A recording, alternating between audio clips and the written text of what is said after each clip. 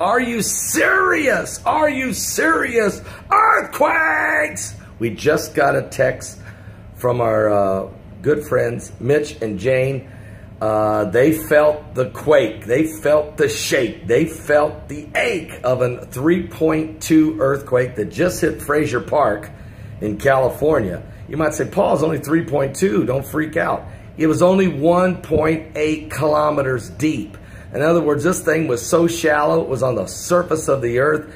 And when you have a 3.2 that shallow, it'll feel like a 5.5 or maybe higher. So there's they, they definitely felt the shaking and quaking. All of you folks know that. But it's not just California that's shaking today. 5.9 just minutes ago, hitting in Chile.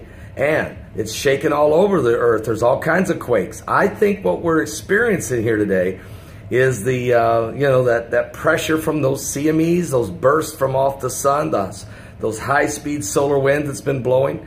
And so there's a lot going on. So don't, uh, you know, just don't don't just take and say, well, I'm not worried about today's holiday, everything's gonna be fine. You have no idea what's coming in this world. There's all kinds of issues taking place. And so always uh, stay ready, be ready, and know this, that the Lord Jesus Christ is coming for the bride. All right, so Mitch, Jane, take it easy out there. Don't, and everybody relax, everybody relax, and have a very safe and happy 4th of July here in, in America. And for those of you around the world, Look to Jesus Christ. He's coming soon. God bless. It's shaking.